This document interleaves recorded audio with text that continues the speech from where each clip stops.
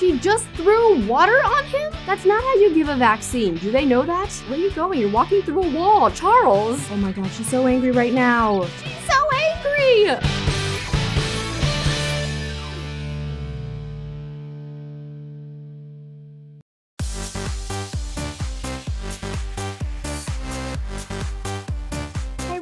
And welcome back to another episode of Royal Twin Adventures. I've done a bit of a time skip since the last episode, which I apologize because I didn't warn you guys I was doing. We're going to be doing a lot of fun things in this episode. I'm very excited. Charles is going to be meeting Fallon's parents for the first time. I'm going to fill you in what has happened between the last episode and this episode as well. We're going to see Bellatrix with her dangerous mission, of course. And then we're going to be having a party. Charles and Maxwell are throwing a party at their, I guess, apartment or townhouse in Brightchester. So it's going to be a very fun episode. So if you're excited for this video, make sure you hit that like button. So this is actually Fallon's parents' house. She's home for break. In the last episode, I think I said that we were going to have Charles take her out on a date to a restaurant. So that stuff has already happened. I apologize I didn't show it, but there'll be plenty other dates that we can see with them. It is snowing a lot, but this is Fallon's parents' farm. Obviously, there's not too much farming going on because it is winter time. And they actually also have a winery. I guess they have a winery. I think that's the right way to say it. But yeah, yeah, they, they have like a whole wine cellar, so they also make and sell wine. And then also what has happened between this episode and the last episode is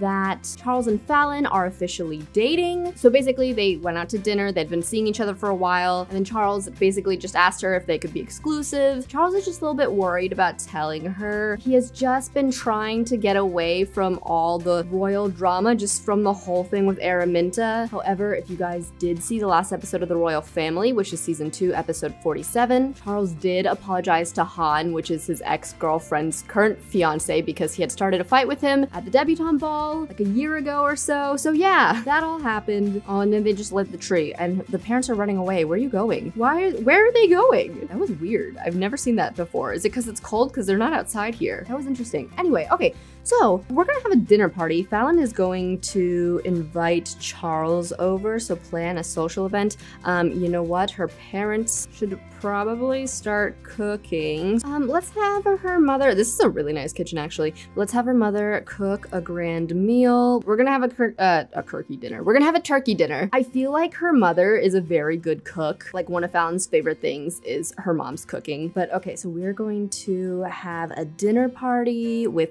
It's just Charles. So, I mean, we're all hosting. Oh, yeah, I should probably introduce you guys to Fallon's parents too. But yes, Charles is here. We don't need a caterer. I don't know why it's a Shaver residence. It's supposed to be the Waterloo residence, so I need to change that. But yes, this is Fallon's mother. Her name is Meredith. And then we have her father, Eric. They are the Waterloos. And I'm going to have Fallon set the table, so Charles will be here soon. So yes, this is the first time that Charles is meeting her parents. It's a big step. I think Charles does want to tell her that he is a prince. He's just waiting for the right time. But I think he's almost ready. I, I mean, obviously, I don't think he's going to tell her here. I feel like that would not be the right time or place. But Charles was home for break, so he's here now. They're just talking. Her parents are currently getting stuff ready, so he'll meet them in just a moment. Yeah, he was back in Windenburg. We got to see him at the winter ball. He was only there for like a week, but I think he did tell his mother about Fallon, and he told his mother that she doesn't know that he's a prince yet. And I feel like Ava, his mother, was like, you need to tell her, like that poor girl. Like, I want to meet her. I feel like Ava really wants to meet her but Fallon has to know that Charles is a prince before she meets Ava. But they're so cute, honestly. Okay, so I'm going to have Fallon's mother, Meredith, go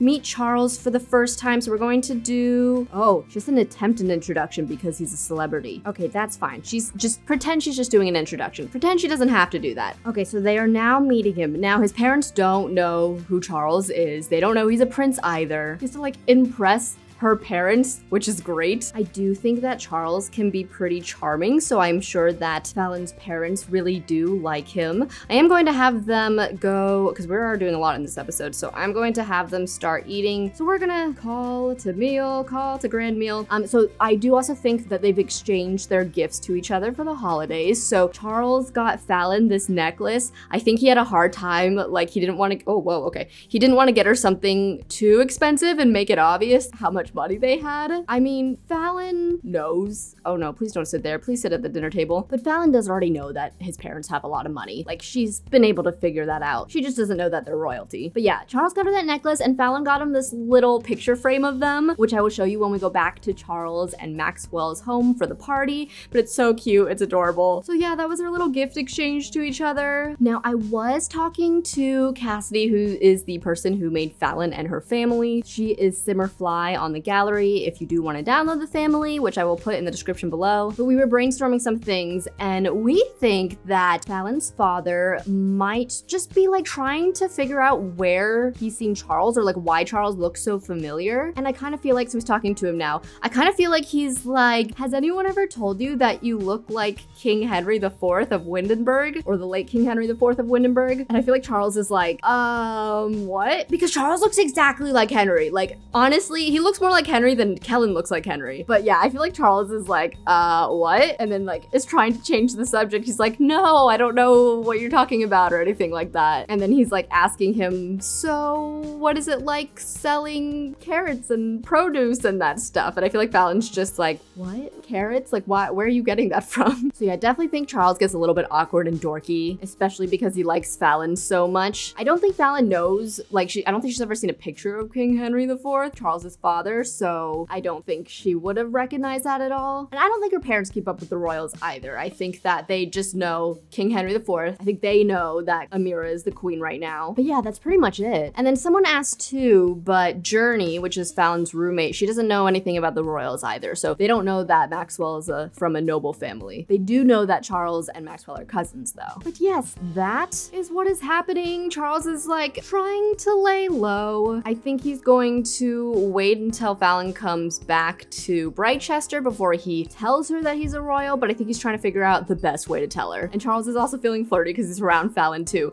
But I mean, things seem to be going pretty well with her parents. They seem to like him a good amount. So yeah, okay, so we are now going to go see Bellatrix in Strangerville, um, and then we're gonna come back to Charles for the party and all that stuff later because that'll happen a few days later. But yeah, let's go see Bellatrix. All right, so we're back with Bellatrix. As you guys saw, I saw the mother plant for the first time in the last episode, and it was terrifying. So now we have to find a cure for the infection and assemble a team to destroy the mother plant. So that's fun. So I guess we'll just go into town and find these things, and I'll just like talk through stuff and the story as we're doing this. I don't know if we're actually gonna get to defeating the mother plant today, because I want, like, I don't want Bellatrix's story to end before Charles' story. Like, I want them to end around the same time. Now, Charles did get to go back to Windenburg for the winter ball, but Bellatrix didn't get to go back because she still has so much going on with her mission. And I feel like in between this episode and the last episode, she has told who she needs to about the plant. So they've just been training, trying to get a team together. I'm gonna get rid of her hazmat suit because she's the only one wearing it and it just looks a little bit ridiculous. But yeah, so I feel like they've just been trying to assemble a team together. They have been trying to figure out this whole vaccine mother plant stuff. There's no one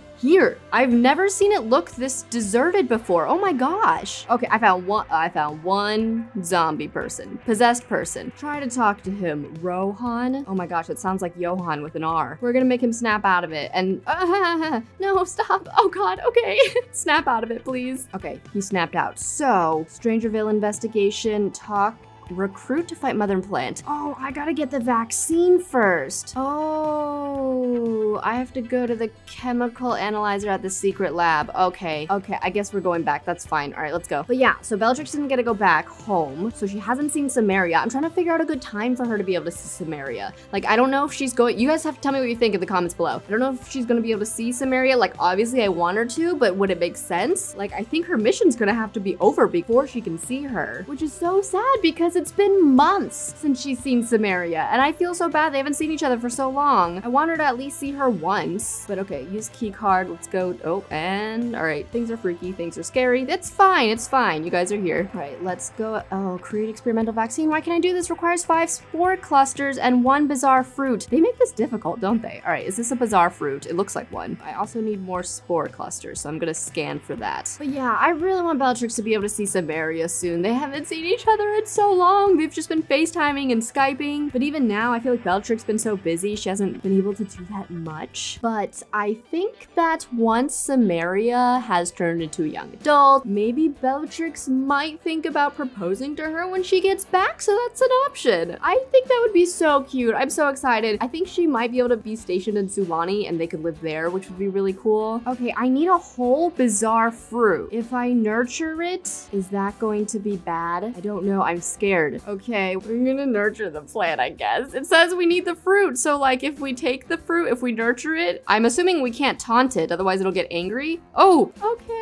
Har oh, harvest. Oh, good. Oh, thank God. That's fine. We're good. We're all set. Okay, we're gonna create the experimental vaccine. I like that we're here doing this and that gigantic, frightening plant is just right below us. Okay, she has made the experimental vaccine. So we are gonna go back into town. It's nighttime. This is even scarier at night. Okay, we're at the bar, so I actually have to find Sims who are infected. Okay, I found someone. Is this the same person? Oh, God. Yeah, I think it is. Oh, yep. Okay, so let's do test experimental vaccine. Okay. Oh, she just, wait, she just threw water on him? Was that her way of giving him a vaccine? That's not how you give a vaccine. Do they know that? Okay, well, let's look for other ones then. Um, and then I did mention in the last episode that Naya was the one who sent the troops here. Someone asked why, and it's because they were just the ones who found out about it. So she sent troops to Strangerville because they needed help. Wait, can I not give this guy an infection? Wait, hold on. I have to make a vaccine for every single person? What the heck? Oh my gosh. Okay, fine. But yeah, so Naya is the one who knows about this stuff. So I feel like she is very informed with what's going on. She's informed of what Bellatrix is doing and how well Bellatrix is doing. And I think she's trying to keep Evangeline and Amira updated. I feel like a lot of this is top secret though, but she did guarantee Evangeline and Amira that she would make sure Bellatrix is safe. I'm also curious, so let me know in the comments below if you guys have Strangerville, if you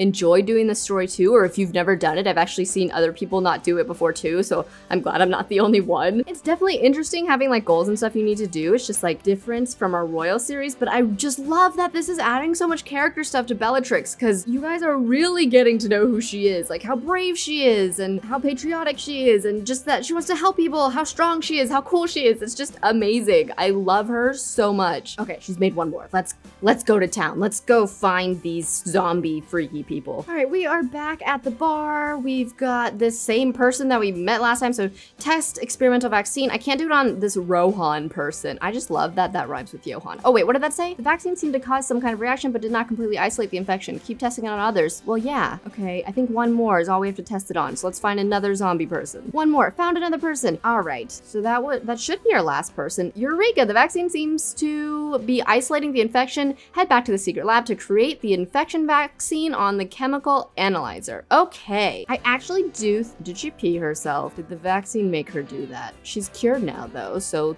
I guess it's fine. That's fine. Okay, I am going to, we're gonna go back to Charles and Maxwell. We gotta see Bellatrix. I'm gonna have her, she's, uh, she should get like a break real quick before she has to make that vaccine and stuff. So, I mean, the next few weeks, I think they're still going to try to perfect this vaccine and then we'll come see her in the next episode. But yeah, okay, let's go to Maxwell and Charles. All right, so Charles and Maxwell are throwing their first party at their townhouse. We have Fallon here. Okay, so there's a lot of randos here. So if anyone shows up in a ridiculous outfit, I apologize in advance. I did want to invite Journey because I think that Maxwell has been kind of starting to be attracted to Journey. He's known her for a while, but I can't find her. She's not showing up. She's not in the club anymore because they had their whole study group thing. Let me see if I can add her. But yeah, she's not showing up at all. Even like in his relationship, she wasn't showing up. So we'll just say that she's home for break and I'm gonna try to get her to come back here because she's supposed to be Fallon's roommate and I don't know where she is. Maybe Maxwell's gonna be talking to some other people. We have a mixologist here.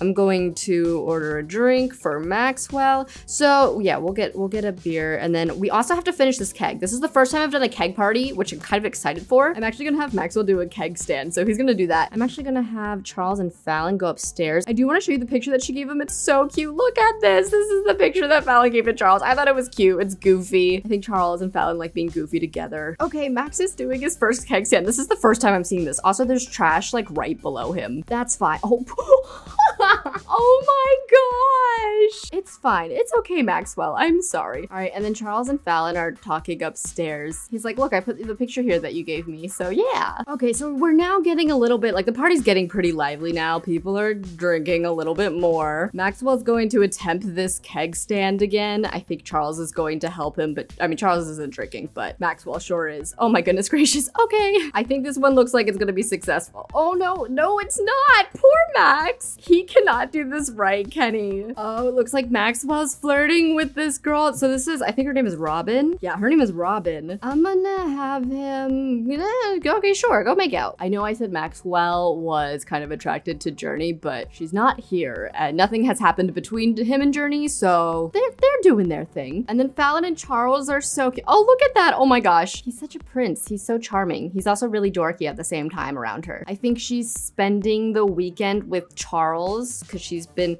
at her parents and she doesn't want to go back to her dorm. Okay. Oh my God. Oh no! Wait, this guy is trying to talk to Charles and like do that attempt introduction thing with him? Maybe he recognizes him. Wait, Fallon was just right there. Fallon was just right there. Honestly, it's bound to happen. Someone was bound to recognize him. Charles is like trying so hard to be undercover, but maybe this guy knows who we- Oh, Charles is signing an autograph for him. Fallon's literally right there. Oh, and now he's angry. Wait, now he's angry. Oh my God, you have to go talk to Fallon. She's probably so confused. Okay, Fallon and Char- Char- Wait, is she yelling at Charles? There's a bunch of people here. You guys need to go somewhere else and talk. What is happening? Go here, go outside. Maybe she's like, what the heck is that all about? Like, did he just say you're a prince? Like, I'm so confused. I'm sure she tried to hear him out. Charles is yelling back, stop. Okay, yeah, maybe she was like waiting for an answer from him and she's like, are you a prince? Is that true? And I feel like Charles is like, yes. I feel like Fallon was like, why didn't you tell me? I think honesty is like super important for Fallon. Maybe just because of a past relationship or something like that. Maybe that's just like her number one priority for relationships, like honesty. Maybe she told Charles that at one point too. She's upset. She's so upset. This lady's like, uh, Uh, I'm gonna pretend I'm not listening, but I'm actually listening. Maybe he was just like, I really wanted to tell you, like I was literally going to tell you tonight. Cause I think he was. I think he was planning on telling her. But she's upset. She's like, you should have told me sooner. Like, what the heck is going on? Like, why wouldn't you tell me this? I feel like Charles is trying to tell her, like, look, I just, I had all of this stuff going on with like, where are you going? You're walking through a wall, Charles. But yeah, I think he's just talking about how stressful it was and how much distress he was under with his royal family. And I feel like Fallon's like, no, you should have told me. Like, that's not the point. You're missing the point. But Charles is yelling back at her and arguing with her. Maybe he's like, you wouldn't understand. Like, this is not a life that you're used to. I didn't want to tell you about it because it's so different from yours. Like, you just wouldn't understand. And I feel like that makes Fal- She's so angry now. She's storming off. Oh my gosh, I feel like she was like, fine, then maybe you should find someone who does understand. Ah, she's so angry. Oh my god, she's so angry right now. Well, that happened. I think we're gonna end this episode here. You guys are gonna have to tell me what you think. Fallon's pretty angry right now. They just had their first fight. Fallon knows. But yeah, okay. So we're gonna end this episode here. But let me know what you guys think of Charles and Fallon. Let me know what you think of Bellatrix solving the mystery, the Strangerville mystery. Definitely leave your thoughts and suggestions in the comments below. If you enjoyed this, give this video a big thumbs up, and I will see you guys in the next video. Bye!